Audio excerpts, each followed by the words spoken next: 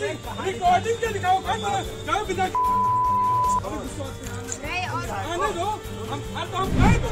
बलिया में सड़क पर हुई बगावत। हमने कुछ कहा।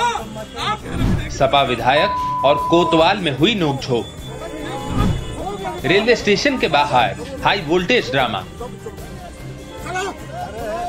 ये नज़ारा है बलिया रेलवे स्टेशन के बाहर का जहाँ नेताजी और कोतवाल के बीच जमकर नोकझोंक हुई।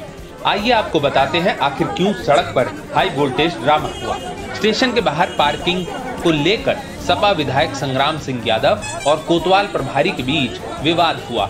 नोकझोंक का ये वीडियो वहाँ मौजूद एक शख्स ने अपने कैमरे में कैद कर लिया, जिसके बाद ये तस्वीरें सोशल प्लेटफॉर्म्स पर वायरल हो गई।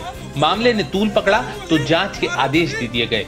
इस मामले की जाँच पुलिस उपाधीक्षक को सौंपी गई है। तस्वीरों में आप देख सकते हैं कैसे लोगों की भीड़ इकट्ठा है और साथ ही भारी संख्या में यूपी पुलिस के जवान भी मौजूद हैं।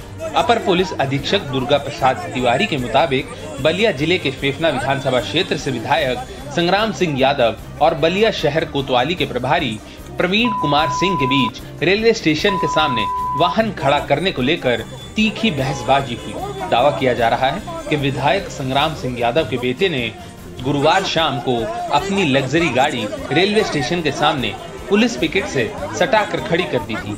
जब पुलिस ने इसका विरोध किया तो सपा विधायक और कोतवाल के बीच तीखी बहसबाजी हुई।